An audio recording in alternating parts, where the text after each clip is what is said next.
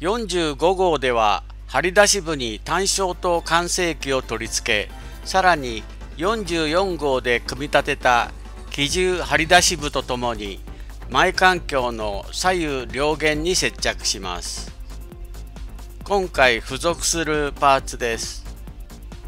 最初に左張り出し部のパーツ03と04を右張り出し部のパーツ01と02をそれぞれ接合し接着します。向きを確認してまた隙間が開かないようにしっかり押し込んでください。組み立てた左右の張り出し部にパーツ05の単焦と完成機をそれぞれ2個ずつ接着します。張り出し部の半円形の突起に穴の形状を合わせて取り付けます。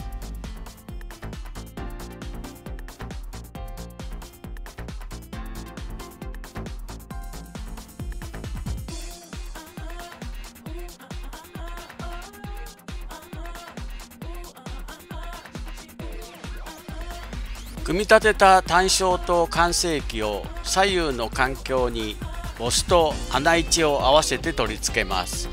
なお次号で取り付けるパーツがついてしまっていますがこれは誤りですので訂正させてください。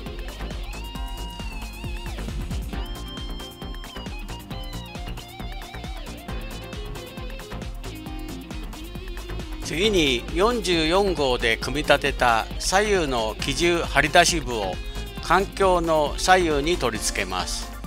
取り付け位置やボスを折らないように注意してください。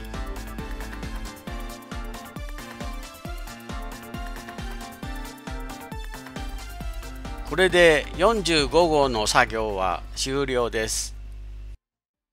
アシェット